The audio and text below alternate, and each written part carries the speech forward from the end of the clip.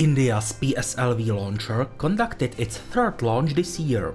It delivered a total of 9 satellites from India, Switzerland and Bhutan into orbit. The launch site was the Satish Dhawan Space Center, formerly known as Sriharikota.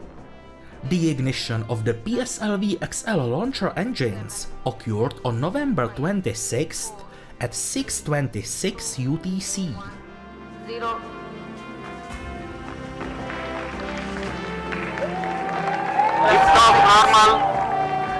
There's the textbook liftoff of PSLV C-54 mission.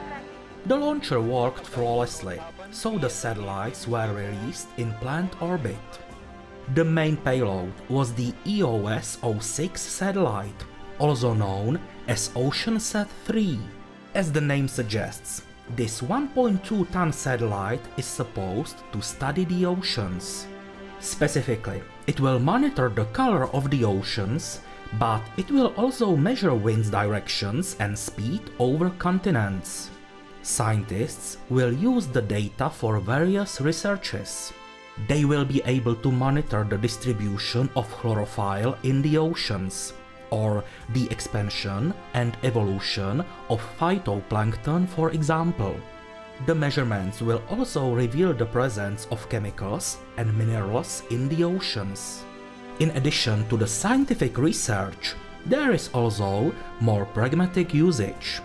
Collected data will help with finding the most suitable places for fishing.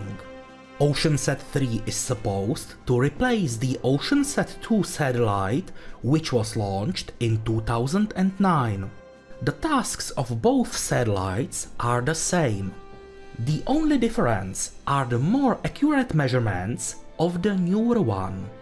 There were also deployed another 8 small satellites alongside with the EOS-06.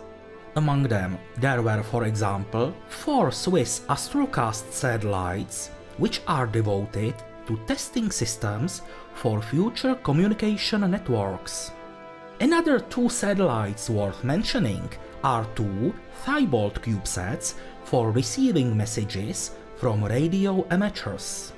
Next satellite deployed during this mission was Bhutansat with its hyperspectral sensor, a joint work of engineers from India and Bhutan. If you want to help to get spaceflight news more viewers, your likes, comments and subscriptions will help us significantly. We are slowly approaching the milestone of 400 subscribers. Thank you!